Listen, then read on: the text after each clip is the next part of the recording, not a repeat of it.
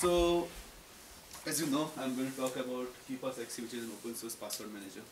And uh, I'll try to make this uh, talk a little more interactive. We have a smaller audience. And one thing I assure you, um, I'm a software engineer, data engineer, but trust me, this I'll try to make this talk as non-technical as possible because this is not a technical tool. This is a tool for for laymen, for lay users. So, uh, can you show of hands how many of you use password manager? Okay, which password manager do you use? iCloud. iCloud, Bitwarden. Bitwarden. Okay. Anyone else? Any? iCloud. Okay, great. Uh, uh, anyone who does not know what password manager is, just I don't know what password manager is. Anyone? Okay, cool. So I'll start from that point. Uh, I'll start with what password manager is. So, uh, I guess most of you folks, uh, most of you folks use some website or the other. You're on Instagram, Facebook, uh, your Gmail, something or the other, and and each of the websites that you log in into has username, has password, and in today's day and age, it, it has been so bad that there are like tens and hundreds of these that every single person is using, right? Tens and hundreds of apps or sites where they use uh, uh, password. So how do you remember password? Anyone who, folks who don't use password manager, how do you remember your passwords? Not Do you- okay, not I am right. Notebook. First Notebook? Yeah. Notebook. Not notebook. Sorry? The phone Yeah, in, only. in the phone, okay. uh, with little more codes and so that others will not what. That's a good this, yeah, to use. So, so uh, what happens in this process is that people tend to use something that's simple to remember, right? And here I have uh, most common, okay, that's 20, that's supposed to be 23, I don't know. So, anyways, the list didn't change between 22 and 23. It's more or less the same. These are commonly used passwords. And uh, there's a there's a field called uh, social engineering where people can guess your password based on some attributes or some some profile that they know about you. so, this is the best way of saving passwords. Some people said notebooks. You can write them down. But how secure is a notebook? Let's say you leave it somewhere. You lose it, right? So, that's why you need a password manager. With a password manager, your passwords are stored in an encrypted vault. Like imagine you have, you have, you have jewelry, right? Like gold. You won't keep it at home because how secure is your home? So you usually keep it in a bank locker or something similar like that. So this is uh, what password manager. These are some of the password managers that I know of. Someone said they use Bitwarden, right? Yeah, you. So Bitwarden is the open source one, I guess. Yeah. And have you self-hosted it? No, right now I use their own. They their own. Okay, cool. So yeah, Bitwarden is one of the open source ones. These are the other ones that you see here. They are the proprietary ones. Uh, I was a LastPass user initially uh, for the pass for, for the before using KeePassXC, which I'm using right now for as my daily driver. I use I was using uh, LastPass for around four years, but something happened. There's a problem with proprietary password managers, and one of the problem is obviously that uh, as, as I'm using open source, the source is open. We know what happens in the background. With proprietary password managers, that's that's not the case. But they had some really weird business practices that I encountered. So I was I was using LastPass, and they had this. They suddenly had so it was a free password manager at that time, and they suddenly had this huge thing about we are doing some changes to the free password manager, and they introduced some blockages like it would be only on one device and it won't sync to the other devices my passwords. So I, if, if I access from my laptop, the passwords won't go on my uh, mobile phone, for example. So this is what I encountered. So and like a couple of days back, I think on 19th of October, Dashlane did, that, did something similar as well. They put similar restrictions. Again, I won't. I, I'll link the blogs here, but they did something similar. But this is okay. These are bad business practices. It's unethical. Business is being unethical. But there was something even worse that happened last year. This is December 22. Uh, LastPass was hacked and they leaked a few uh, password vaults that people had. And that is when I was paying them and this just is loss of trust. Like, okay, there sometimes, sometimes something like Facebook gets hacked, so Gmail gets hacked, something like that is still okay, but your passwords getting hacked, come on. How, how much worse can things get? So I lost trust in proprietary, like if I switch from last LastPass to OnePass, what, what are the chances that same thing won't happen? So before I proceed, the standard disclaimer applies. Don't take my advice as something as a, a silver thing. Uh, it might be wrong, so whatever I say, uh, don't blame me, take it with a spoon of salt. So let's start. Let's talk about KeePass XC as password manager and how exactly it works. And depending on how much time we have left, I'll, I'll do a small live demo of it.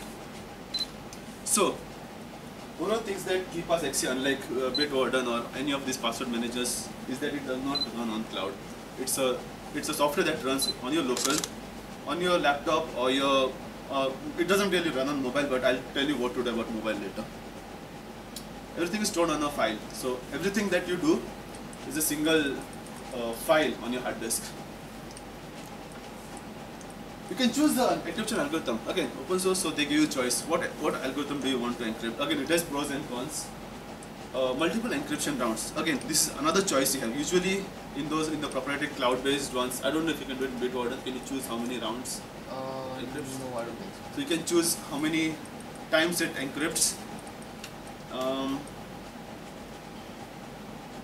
using multiple layers of keys. So usually uh, password managers do support uh, the, the, the proprietary ones, the ones which are on cloud. They do support multiple layers of keys. But do you, do you know if both the keys that you use are used to encrypt or no? Don't know, right? And that's when I, that's where I'm going to show you. I'm going to show you that you can use a hardware key for doing something like this. So the first step when you uh, when you use any password manager is to use a master password. Just because you use password manager doesn't mean you have to remember no passwords. You have to remember one password and that's the master password. So uh, this is a small trick. Uh, again, not the best trick, but how to create a password that you can remember. But it's hard to guess for people. Like it's hard to socially engineer the social engineer the password. First thing, first and foremost, it should be a very long password. Uh, so should be like around 30 characters. It should be easy to remember. So choose a long. Uh, this is usually people call it a passphrase as well. I think people who have worked with Linux would know it better. So instead of a word, use a sentence. So I choose something like this is a very long password string. This is the sentence. But there's a problem with this. It's a very it says it says things like password in it. It says that this is a very long password. So it just tells what it is. But that's not what we want. We want something that's hard to hard to guess. But it's easy to remember. It should still be easy to remember. So you can choose something like a fun fact. Now the fun fact over here is one out of every five mammals is a bat. That's a fun fact. But it's in no way related to me. I just picked it from somewhere just for it to be easy to remember. I'm not a biologist. I don't even love bats. But uh, it is uh, it is something that's easy to remember.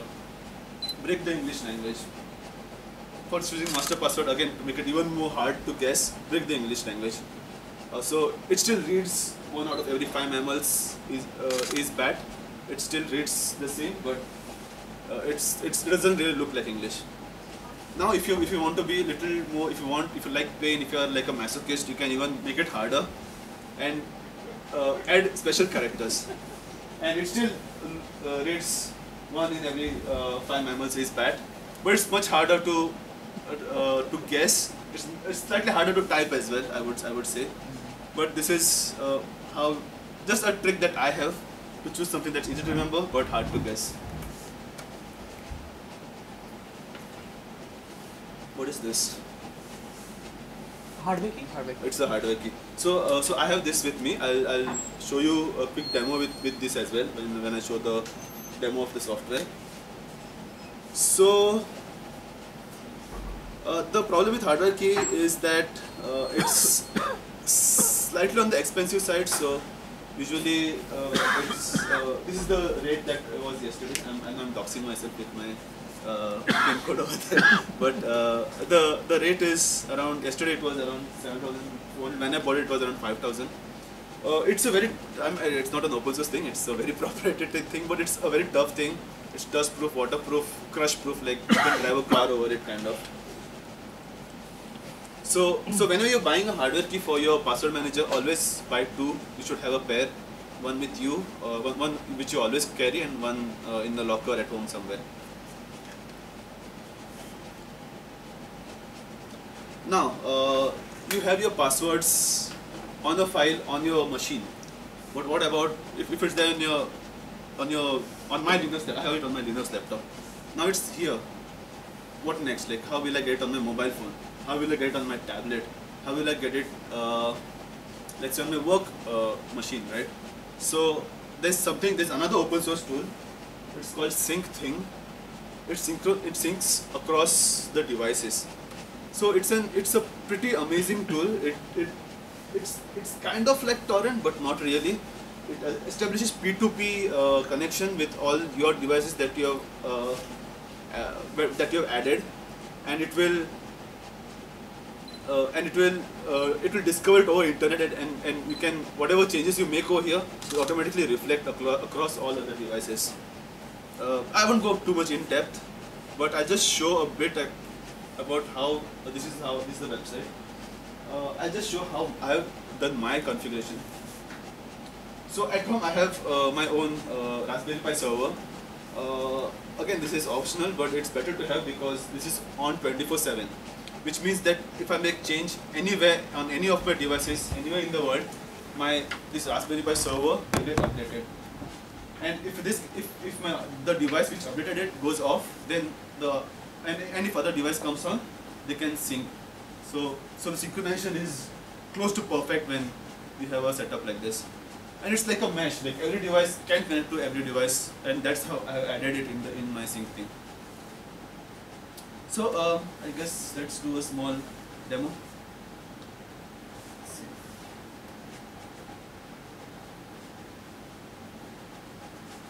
The little weird, so I struggle a bit. This is how LastPass uh, application looks. This is a Linux build.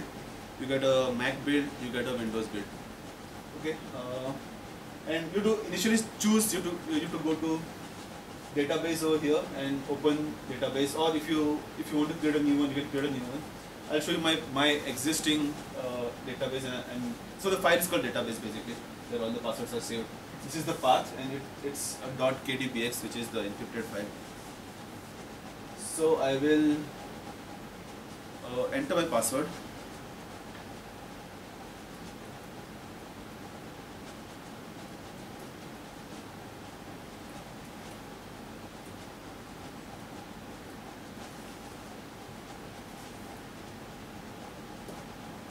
Okay, uh, it is okay. So you'll get to see all my details, but it's it's it should be fine. I think I'm out of USB ports. I plug out something.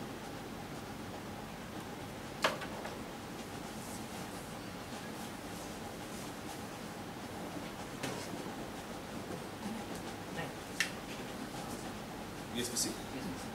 So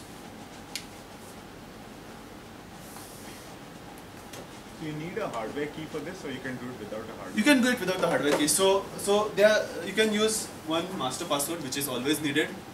Uh, you can use a software key, which is the key file. So you can get it in pendrive and then just browse and uh, use that. That's a software key. I prefer a hardware key. It, it's more secure and there's another whole part to set up. You can look up the documentation online. So I insert the hardware key and I will say refresh. So it detects the hardware key that I've plugged in in this. And when I click unlock, right, it will start blinking because no application can access this unless I allow the application to access it. And I have to physically allow to access by tapping the uh, the, the key. So I'll, I'll click on unlock. It says please please present or touch. So I'll touch it and ho- hoping my master password is correct. It, it, it has encrypted everything. So when you say touch it, it's not the fancy fingerprint and stuff. Right? No, no, it's not fingerprint. It's just that you are allowing the application to access. And I always plug it out because I don't want to leave it in and by mistake some other application taking some details from this. Um, yeah, so this is roughly how it looks. So uh, these are all the passwords. You can add a new password. Uh, let's say some this uh, some website. What, what, I'll do is I'll try to log in into something that I'm not logged in into. I will switch to browser. I'll switch to incognito. Let's let's log into Amazon and see. I'm on my uh, 4G. This little slow. So what I'll do is I'll go to sign in.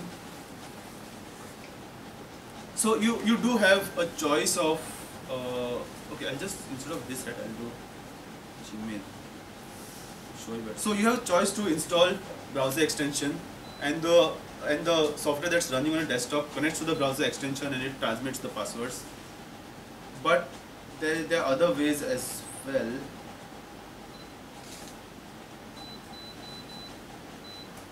I just Instagram. Sorry. I just, I just want to show you uh, uh, when you have both username and password. Uh, I was just searching for this. So now you can enter both username and password. And what you do is, uh, I said Instagram, right? So I search for Instagram, right? And I'll just check if my screen is correctly selected. I'll select this, and yeah, it's selected correctly. And I'll use a key shortcut over here like this, and this just enters my username. So it does a key, it, it transmits key code. So it it actually types for me. It types my username. It types my it types the username. It presses tab. It types the password. Uh, it presses tab and then it presses enter. And yes, you are logged in. So that's how. Okay, I want show any more things. Uh, yeah. So that is essentially how it is. How it works. I can also show you how to create a new one. So what I will do is I will I will lock this. So anytime you walk away, you can just lock it, and now no one can access your passwords. I can say new database. I'll say passwords test uh, live demo test whatever, right? Can say continue. Now you can choose depending on all the machines that you have how many times you want the encryption to run. So you can the encryption can run for multiple rounds. Like encrypt uh, whatever is encrypted again encrypt again encrypt again encrypt. So that's usually how encryption is done. And the same thing happens for decryption. so roughly you can choose. I'll go to advanced settings, and you can also choose what algorithm you want for encryption. AES is what default by default most of the password managers use. There's this is the newest one, Chacha 20, which is as good as AES, but uh, it, it it runs the same with the same speed on most of the CPUs. That's usually the so so how many rounds you want? These are the transformation. All layers will be with the same encryption. Yeah, yeah, yeah, all layers with the same. Then you can choose an encryption round. So in the non-advanced, this we had seen uh, the bar uh, to drag. Uh, here you can check if I want to benchmark one min one second of a delay to encrypt or to decrypt my passwords. Then how many rounds I need?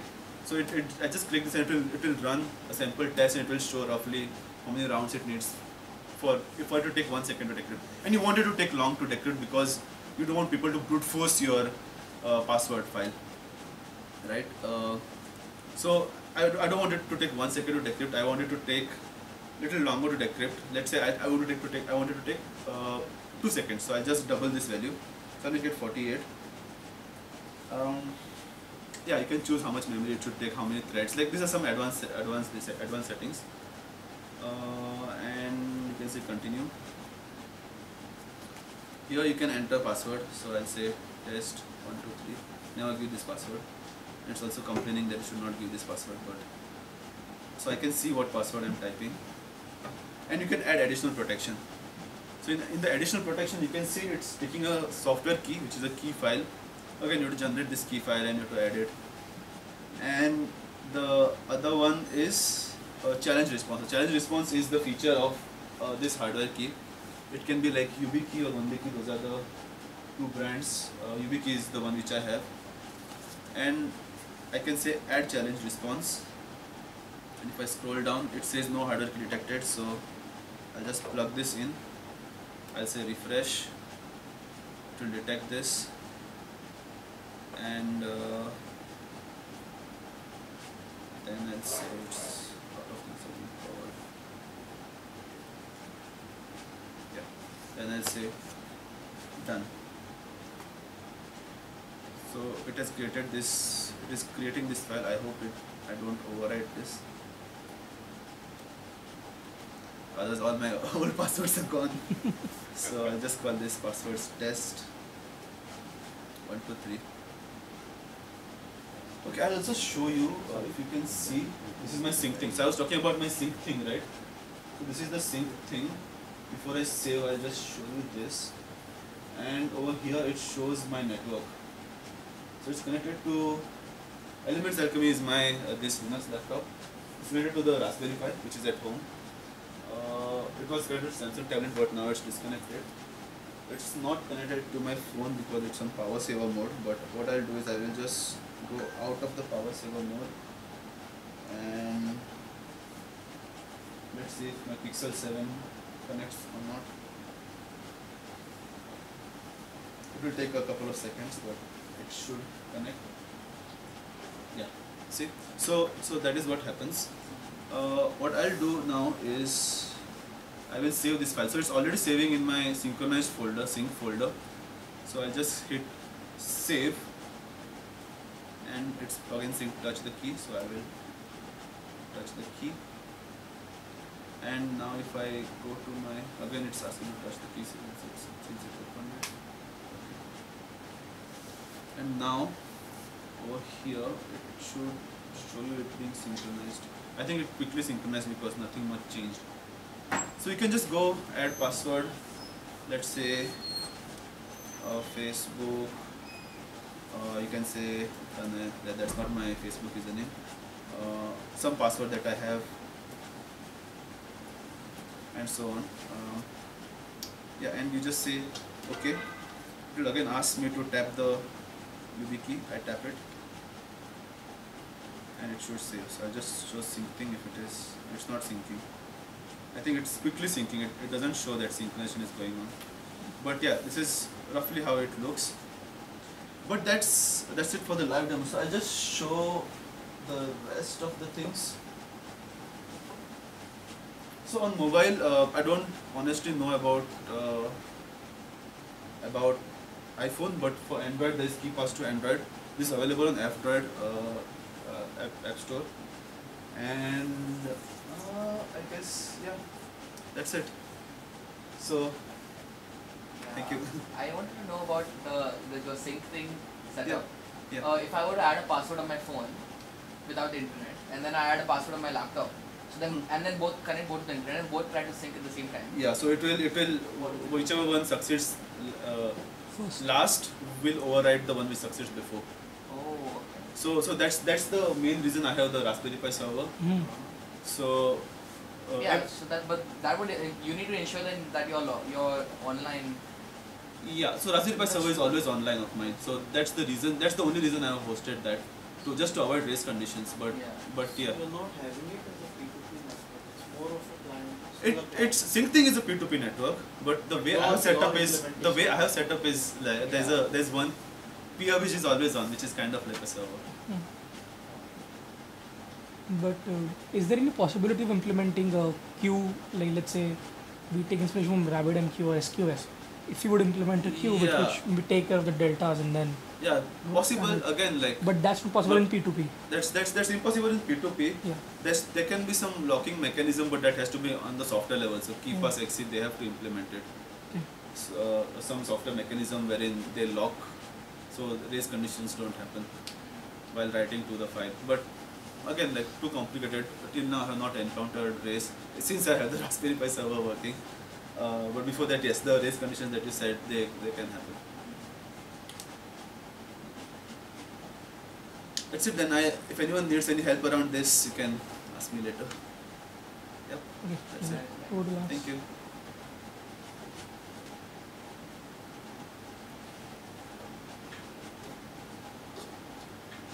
Questions? Yeah. Uh, I mean, if you have any question, I- I'm still open for questions. I don't know how much time is left though. It's not right time. Yeah. Time. Thanks.